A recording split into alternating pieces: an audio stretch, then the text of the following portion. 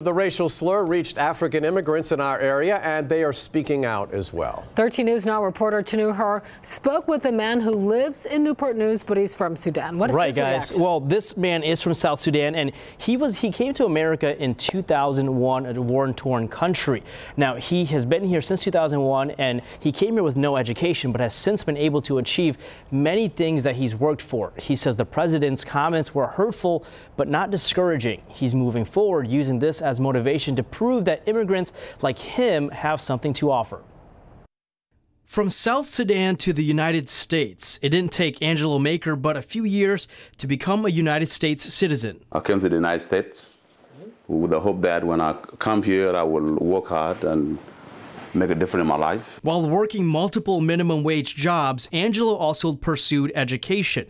He now has a master's degree in organizational leadership. I would not be able to get that if I was uh, back home. Uh, but now I work hard for it, and um, the opportunity available for all of us. His story and others like his, fleeing from an African country to the United States, became the focus in America after reports of President Donald Trump becoming angry during an immigration meeting, calling African countries and Haiti expletive countries. I'm doing the American dream. I pay tax. I've been working two, three jobs. I pay tax like any other Americans.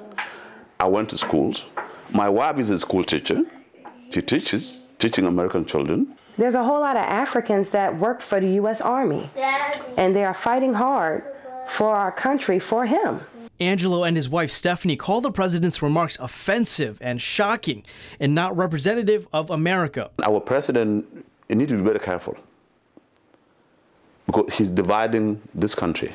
Immigrant or American born, Angelo thinks actions speak loudest. That what they need to know is not where they come from or the color of your skin is what you can contribute to society. Now, Angelo and his wife also run a nonprofit helping his home country of South Sudan. He and his wife have built a school for hundreds of kids, as well as an internet cafe in his native home. Chenue Her, 13 News Now.